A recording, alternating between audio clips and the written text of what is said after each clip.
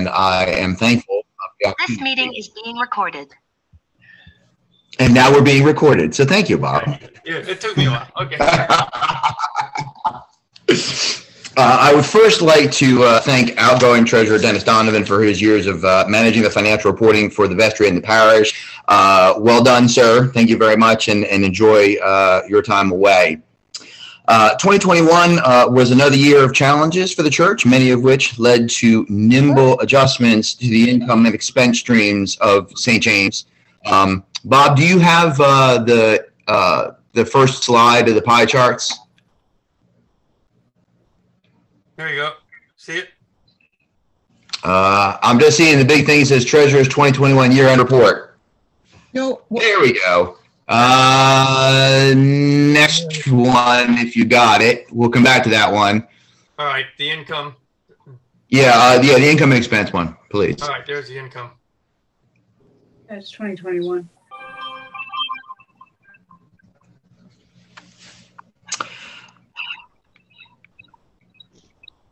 All right, we'll start here. Adjusting uh, to uh, the new and ever-changing worship schedules uh, led to some disruptions in our expected patterns of giving throughout the early part of the year. At the same time, larger than expected capital repairs for the roof and a major sewer line issue on the church grounds drained the remaining funds set aside for such events during the first two-thirds of the year. The vestry and the church leadership were kept abreast of these and other expense challenges monthly and made cost-cutting adjustments as they were able to control outflows of funds. Nevertheless, the situation looked dire in late summer, which prompted several written communications and discussions from the pulpit regarding our collective financial position. Bob, do you have the expense uh, pie chart there, which hopefully is the next one? Numerous parishioners responded with catch-up payments to pledges, open plate gifts, and designated gifts to specific programs to the church, including capital repairs and endowment gifts, amongst others. I want to take a moment to say thank you to everyone who responded to this call to help alleviate the financial challenges from earlier in 2021. This late year res- response helped turn the tide for the operations of the church. The day to day operational position of the church ended the 2021 fiscal year with a net gain of $118,820. However, those aforementioned capital repairs cost $183,403 during this period, leading to a loss of $64,583. The timing of those expenses caused the church to deplete funds previously set aside, and year-end revenues are only now beginning to replenish those coffers. Bob, now we can go back to that uh, balance sheet, uh, the cash and investments pie chart. There you go. All is not bleak, however. Through careful management, the church endowment funds have grown to over $1.5 million as of December 31st. The markets have been very good to us, but our endowment committee maintains a careful eye on future positions. While earnings increases are needed, core deposits to the endowment help this series of funds grow year over year and give the future church more options for capital expenditures, debt repayment, and program expansion. If you have been considering ways to contribute to the church's endowment program, please reach out to a member of the endowment committee. Several of them are actually on this uh, Zoom call I've seen. Or you can contact parish accountant Aaron Edwards for more information.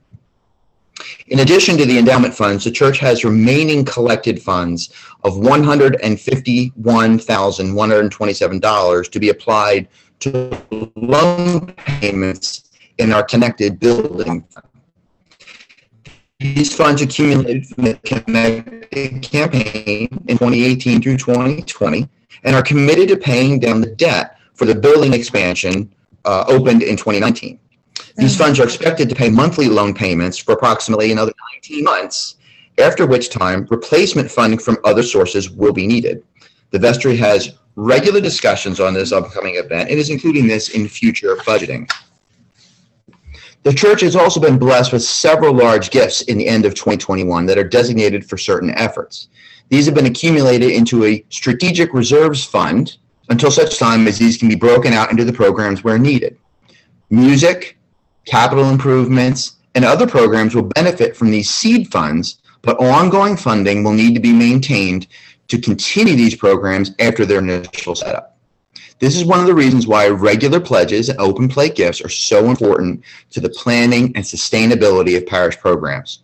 The vestry and executive committee of the church are prayerfully considering how best to utilize these gifts in 2022. Bob, you have the budget slide for 2022? Yeah, here's your income. Uh, that's 2021. Do you have the, um, the one for the 2022 budget that the vestry approved? Yeah, I think it's slow painting on your machine. Can other folks see it? Yeah. There we go. Gotcha. See it. The vestry has reviewed or approved a budget for 2022 that shows a 16% increase in pledges committed over 2021, as well as a 5% increase in the income from the school. With These new expected revenues, some new and returning programs should be on their way. The expenses include a salary for a music director position, approximately mid-year, as well as a new expense category for capital improvements and repairs funded directly out of the operational budget. This year, we're starting with $30,000.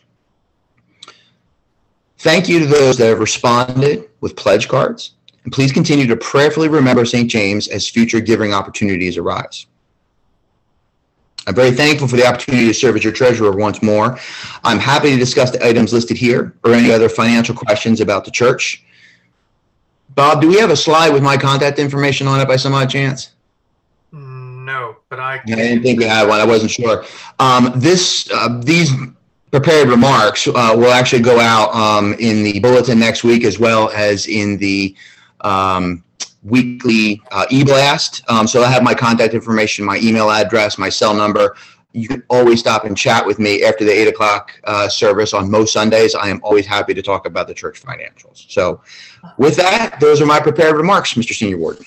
Colin, one thing, do you, did you want to, excuse me, show the expense pie chart or you, yeah, I'm showing. That's fine. Yes, we can do. Yes, you can. You can certainly do that. Yeah, those are the.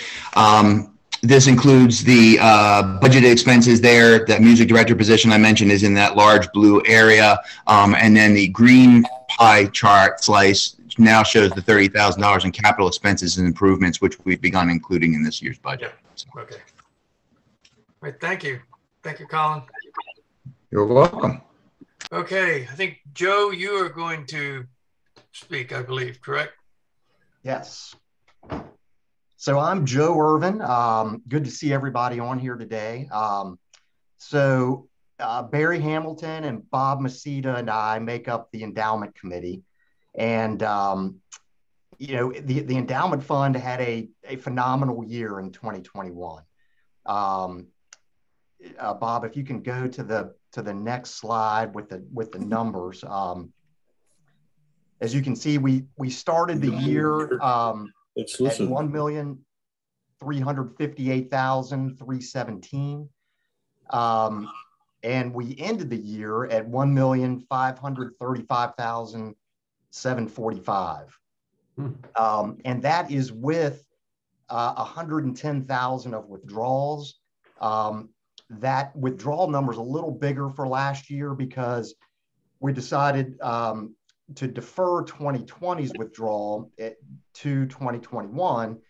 And so we had a net gain of 177,428, again, net of, you know, 110,000 worth of withdrawals. So we had great growth, um, you know, in the endowment fund and, um, you know, the, the market um, had a, had a good year. So we benefited from that. So, you know, we'd love to see, you know, more gifts and, and do- donations to this, but, um, but it, it was really good to see, um, you know, you know, good growth, um, you know, from, from the fund this year. And Bob or Barry, did you all have anything to, um, to add? No,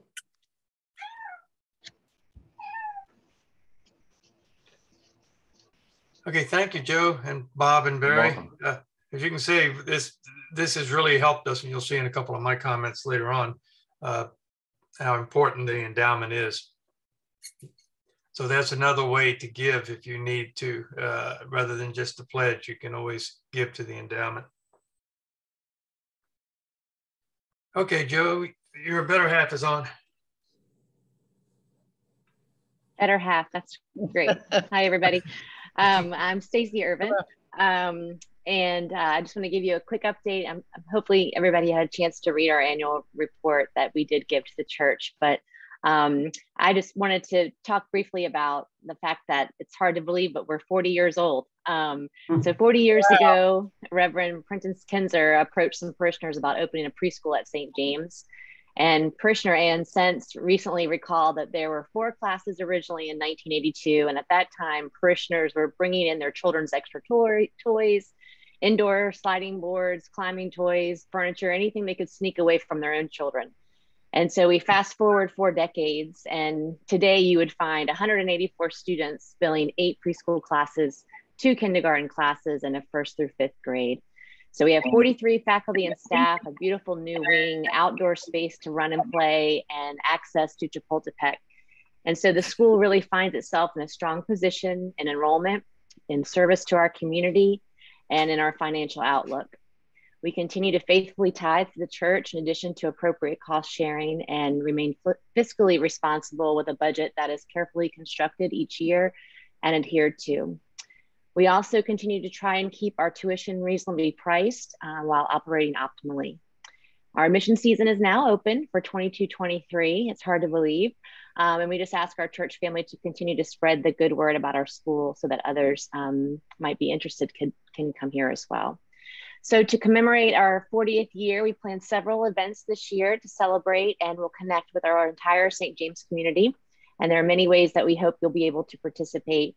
Please continue to watch our social media channels, um, our 40th anniversary webpage, and print invitations throughout the year on how you can celebrate with us. Um, I'll also put a link in the chat where you can share your personal story and connection with St. James on our special anniversary webpage um, and read others, others stories too. And one of the things that Anne did write in her story was she says, quote, it is very gratifying to see the level of excellence that St. James Episcopal School has achieved over these 40 years. The school has grown from very humble beginnings to a place of pride within our church and community. So we continue to ask for your prayers and support as we celebrate our 40th year. And I'm um, just we're so extremely grateful for this church school relationship and thank you for your continued support. Thank you. Thank you, Stacy. Uh, Stacy, thank you. All right. Well, a few thoughts from me. Uh, just uh, connecting a little bit with um, what Stacy and, and Colin said. Uh, this is basically our mortgage. Uh, we the connected campaign for for a couple of folks that probably are new to the churches was the campaign that we did to raise money uh, to pay for the construction, and one of the components was a, a, mortgage. As you can see, we took, we reduced it a little bit um, year over year. Uh, also, uh, Oakview Bank slightly modified the the P&I payments. Uh, I think it was about 7240 before now it's 7120 uh, and they adjusted that past the past year. Uh, now, how do we pay for this? As, as Colin indicated, we've got enough money left in the connected to get us to 2023. Um, going forward after that, part of the component is to draw from the endowment of about 55. Uh, the school gives us 10,000 annually, and this year they gave us an additional 33,000 uh, uh, to cover the payments. And then if you look at the 55 and 10 and our payments are about 85 that's 20 that has to be made up from the operations uh, cost so just keep that in mind um, and then there's a refinance we're an adjustable mortgage and so the refinance comes in 2024 hmm. all right and um, just talking about uh, some of the things that we've done for the vestry election from what i can gather this is the first one we've had in 20 years. Um, so it's a rare, it's rare uh, occurrence. And we were having it in a virtual environment. If we were all in the church, in the parish hall, we'd hand out paper ballots and you'd mark them and you'd put them in a box on the way out and we'd figure out who was who. Uh, we don't have that luxury. So we had to get a little creative. So we've done a, a hybrid. It's, it's, a virtual um, effort and also a paper effort if the virtual, you, you don't want to do it that way or you can't. Uh, and there are some parish members that, that want to prefer paper. Uh, and I think we've explained what we're doing before. Uh, we did look at all sorts of acti- alternatives, Zoom polling, uh, Google forms and stuff, and none would meet what we needed to have done.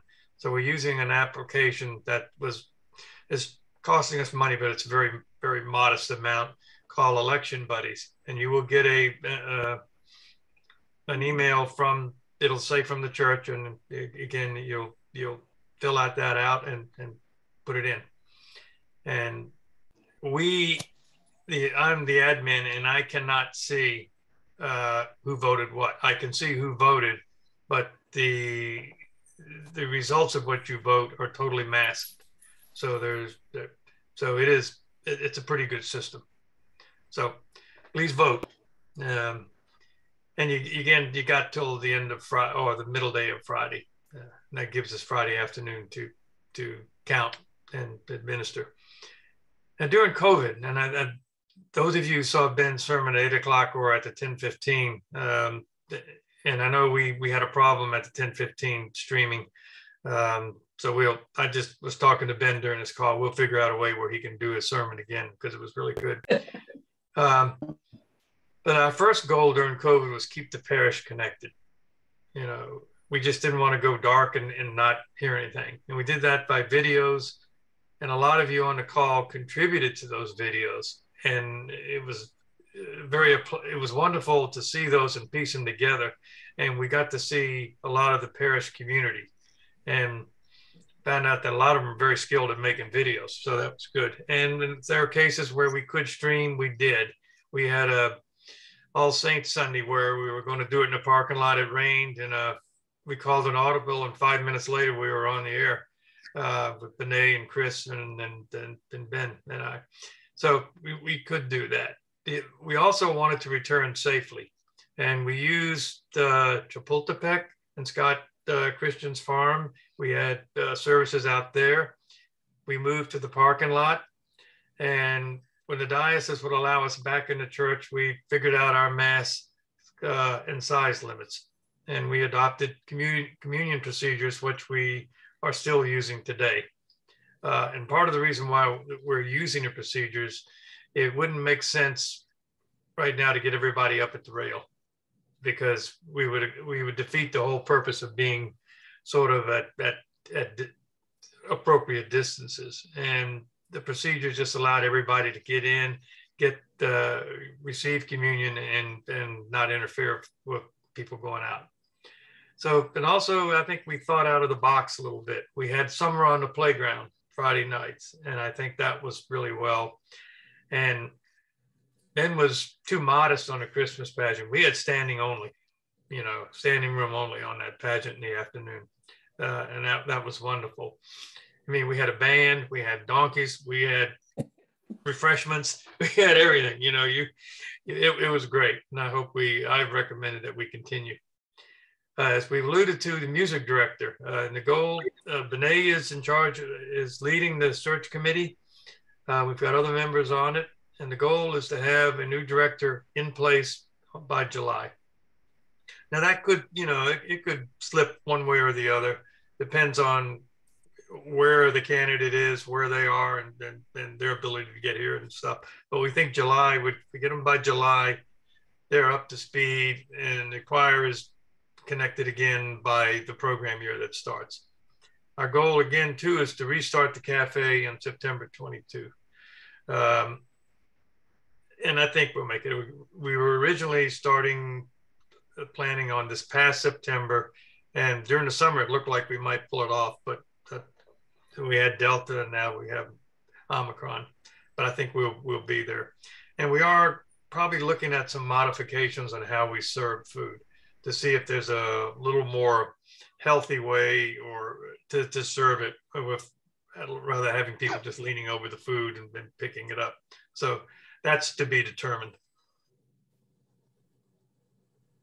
Some other thoughts. I think financially, and you saw from from Colin's presentation that one of the goals we were trying to do is spend wisely. Now, wisely doesn't mean be cheap. It just means be intentional on what we're spending our money on, uh, so that we, I mean, the people that that pledge or giving and plate give us money, and give it with a certain element of trust that we will do good things with their money and and for the for the betterment of the, the parish community.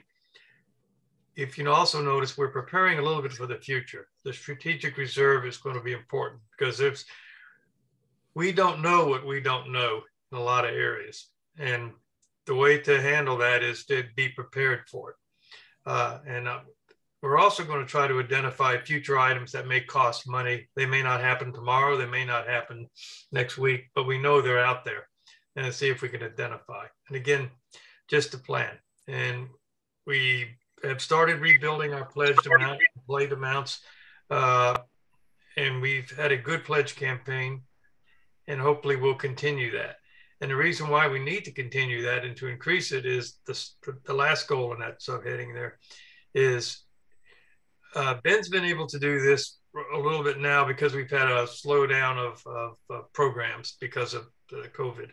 But if we want to get to where we want, uh, I know Ben's Superman, but he he needs help as well. So uh, to establish a goal where we can get an assistant, a full-time assistant rector. Now that if it's full-time, that means that individual gets paid, gets fringe, and a lot of things. So it's it's uh, it's not cheap, but it's it's not inexpensive either. So hopefully that's a goal we can work on.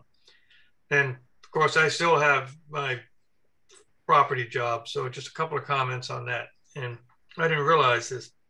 Our physical plant, and you can see the four main sections, um, expand over a century. And if I counted the basement of the nave, uh, we would be into the 19th century. Um, so it requires a lot of care and feeding. Uh, and I know at one time we mentioned we had 34 different air conditioning units, which is about right. Uh, but there's really five different HVAC systems that are all different and operate different, and some have been more reliable than others. And the philosophy that, that I've pushed and we've adopted is let's keep stuff repaired and replace when necessary, but let's don't do shortcuts. Um, which leads me into the sewage project, which started out as a one week project and lasted a month and a half. Hmm. Uh, and believe it or not, it's it started with uh, the rectory not being able to. They had the, the basement flooding and uh, toilets would not work. And what we found, uh, and Leo, I'll back up a second. The individual that we had contracted to do work for us got to the point, and she she was very good and she was very noted. She was the go-to girl in Fauquier County for this stuff. Guy came up came to us and said, "I've done what I can do. You need more help." you know, and so we did contract with a company out of Richmond that was well uh, respected and did a very good job. And they've done work in the Smithsonian Institute and Arlington National Cemetery. So we were getting people that knew what they were doing. And it was kind of an interesting project because what we found, we found things we didn't know were there. Uh, we found things that we didn't know what they were there for. And we also found out the, that it starts at Ben's house runs under the courtyard, runs into the church, drains everything from the church, runs out through the church parking lot, and then connects to the new building. So everything but the new building runs through this pipe. Uh, everything but the new building, rather. And so what we've done, and we found sections of pipe that probably were in the early 1900s. Uh, so everything is complete now. It is solid PVC pipe that will last far beyond Ben's and my grandchildren. Okay, so it's, it's, we're done with that project. With the roof, um, we found a good contractor to work on, and he identifies. He goes up. We see issues. He takes photographs, gives us options, and we've had a we've had about three areas that we've worked on. One is over the organ, which of course is, doesn't leak now. Uh, one was over the archive room, and even though it's a slate roof, slate slate doesn't really go bad. It may break, but it's all the underlayment and and flashing and metal that that does. And then we found one in the the beginning of the uh, cloisters, which goes into the parish hall door, was totally bad, and we actually had some beams that were rotten, and, and they, they hmm. were expensive. That's when you saw all the scaffolding that may have been up in the front. So our goal when we do this is we try to identify and continue to use exceptional contractors. We want guys that know what they're doing, uh, do it well, and do it right, and at a, at a, mod- at a modest cost, or as at a reasonable cost, I'll say. And I think we've got a good team of those that, that do that for us. And uh, I think you'll see that as we continue going in that philosophy, that the church will will become a physical plant that is stable and, and is and being able to be used and enjoyed by all. So I think that is all for me. Um, I'm going to break now for because we're doing really well on time. Are there any questions that have on any of the subjects we've discussed so far before we continue? And I'm since I'm sharing, I can't see. So if, if someone either raises their hand or chats,